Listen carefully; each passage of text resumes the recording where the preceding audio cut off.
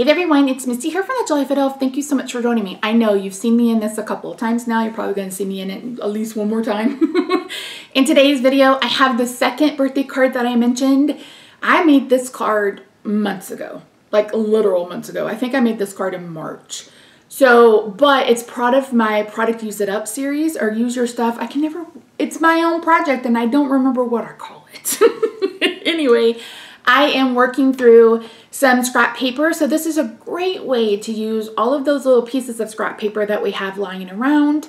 And we're gonna make a really fun and cute and festive little birthday card using the little mice from MFT. I love that stamp set, so fun. So yeah, so if you haven't already, I hope you'll consider subscribing. I'm trying to upload every Monday, Wednesday, and Friday at 6 p.m. Um, I mentioned before that since having pneumonia, I've literally lost any brain power and all concept of time. so bear with me. If you haven't already, I hope you'll consider subscribing and give this video a big thumbs up. You can find all of my social media listed in the description box down below. Um, let me know if you like these videos, if this has been helpful for you. Um, I would love to know what you want to see in my holiday card series. That's going to start soon. Um, and if you don't want to leave a long comment, just leave me a purple heart. I really appreciate you. All right, that's enough jibber jabber. Let's head over to the craft table and we'll get started. Y'all, I'm on attempt number four for this voiceover, so hopefully we make it through. So you can tell by what I'm wearing in the video that this card was filmed when it was cold outside, so definitely not any any time recently because it's over 100 here in DFW. So, but before we get into this card, I um, am trying to raise about a thousand dollars for some unexpected expenses that we've popped popped up for us. So I have um, eight mystery card bundles left over, and then I've added a bunch of cards to my Etsy shop. So if you um, can support and we'll check that out, I really do appreciate you. If you can't monetarily support, that's fine too. Leave a comment, give the video a thumbs up, watch the ads, etc. There are there are ways that you can help for free, but if you can help, um, I really do appreciate it. There's also a buy me a coffee link down below. Um, I think it's five dollars. You can support in five five dollar intervals, or um, yeah, I just appreciate it. I hate asking just for money, so I'd much rather sell stuff, and that's why I'm like, I've got mystery card bundles left, I've got cards left. So yeah, so if you can help, I appreciate it. Um, we do have an emergency fund, but this will probably wipe it out. So yeah. Anywho, let's get back to the card. So I wanted a pink and purple card. I, again, this is part of Project Use Your Stuff. I had this whole pad of Doodlebug paper and I went through and I pulled out like the plaid and the polka dots and stuff like that because I really wanted um, a very fun and colorful card. So I'm coloring the um, frosting pink and I did purple on the cupcake liner. And then we're going to do like a fun turquoise on the candle and then we're going to make a fun background. So that's what is happening in today's card. So this is from MFT, and the dies I'm using today are from MFT. MFT, um, since we talked about it in my haul, has had another 60% off sale um, for the Olympics. And then they've had another sale um, for like their Blitz Day, but they did like, I think it said like 50 dies or something. And then they released a new card kit today. So I I don't know what's happening over there. Um, their latest release sold out in like minutes. I think I don't think there's anything left to buy. So I don't know if they just didn't purchase as many as they normally do, or if it's people afraid that it's not going to be available ever again. Um, like that Yuzu Highland Cow stamp, which I've been waiting on since it released they haven't restocked that. And they did restock some like dies, but that's that's really been about all they've restocked. And during that um those sales, it's like nothing was available. And it's like, okay, are you guys going out of business? What what's really going on? And I know there's a whole club of people who are like, it's not your business. They have like you don't have any right to that information. But it's like so many brands are dying and closing their doors and when you have a brand that's been around as long as MFT and has been such a staple in the crafting community, you have to understand that your your your fans and your customers are scared that you're going away. And maybe we could help you if we knew exactly what's going on. Like I I'd said this last year, I think, maybe the year before. It's like when they started having these regular 30% off sales once a month or once every 6 weeks, it's like you're teaching your customers to wait for a sale. Like they're why would you pay full price if it's going to go on sale the next month? And that's been a pretty big complaint for them um, in the group. It's like I literally just bought all of this at full price and now you've put it on 30, 40, 50% off sale. And that can be irritating. Now you're not promised that. I know like you uh, you know what I'm talking about. So I I honestly don't know what's going on over there. Um, all of the threads that talked about it have the comments turned off. You can't comment on it. You can't bring it up. I don't know if they are policing posts, like if they're moderating posts or not. I haven't tried to post anything in there. So, yeah, I don't know. But I I love them. Like I love like my biggest issue with them is the price, and it has been the price for the last several years. I just think it's ridiculous how much they are charging for dies and stuff to me i don't care if it's made in the usa like that that isn't a big deal for me. I know some for some people it's a huge deal. For me can you provide me quality stamps and dies at an affordable price? Like with hello bluebird and their new bundles and one was like $80 and the other one was 160 and it's like oh dang. Like, how are people supposed supposed to support this and do this on a monthly level, I have no idea. But yeah. And again, so many companies have closed. I think it's like at least 15 off the top of my head. I know Possum closed.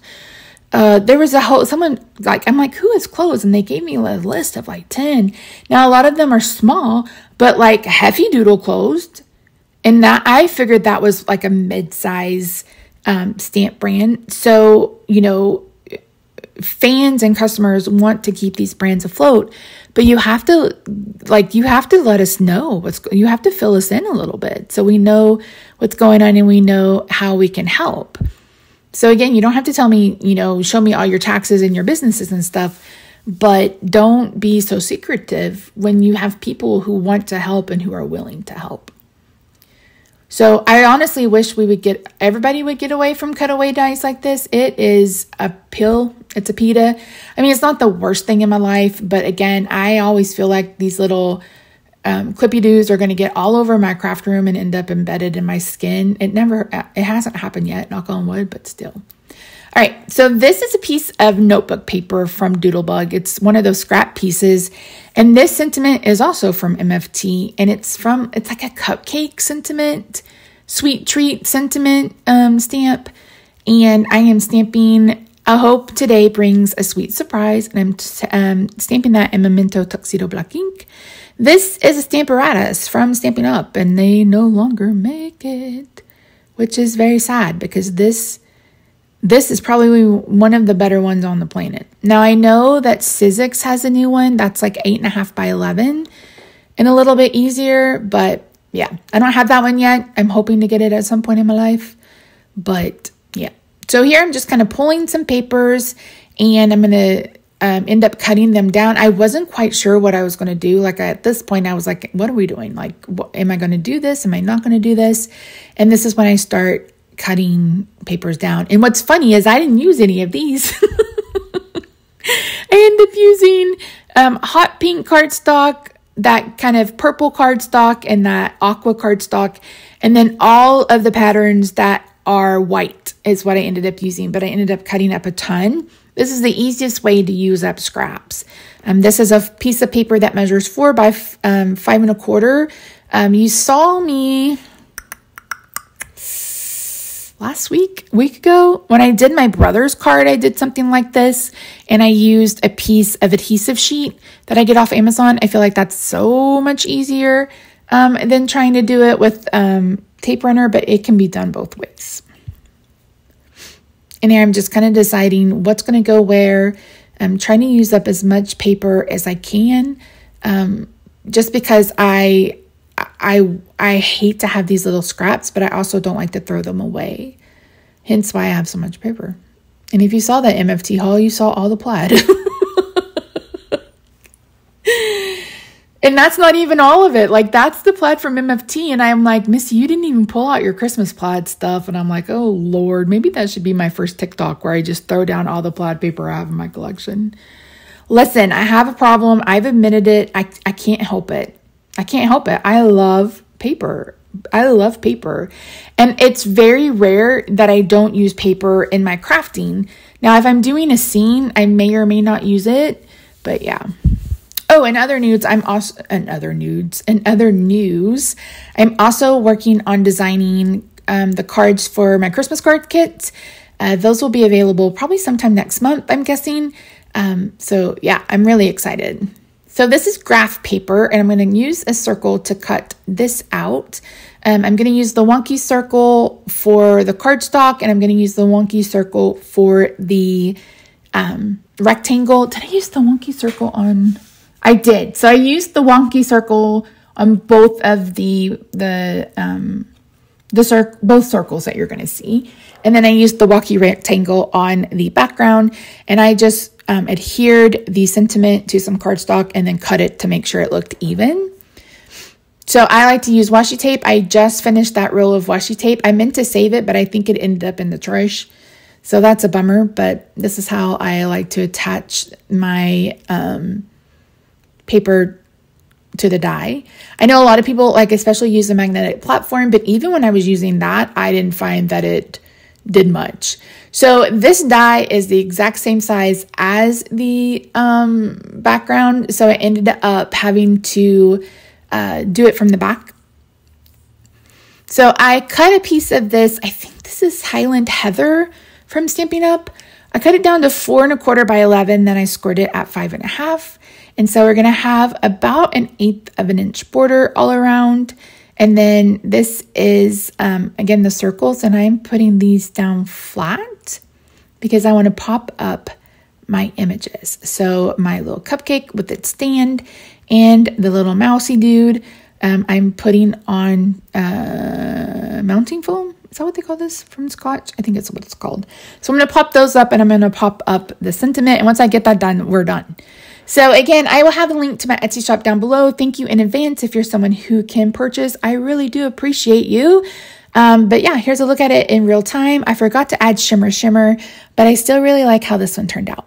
So don't forget to subscribe if you haven't already. I hope you have a good day, night, weekend, wherever you are. I love your faces. I'll see you in my next video.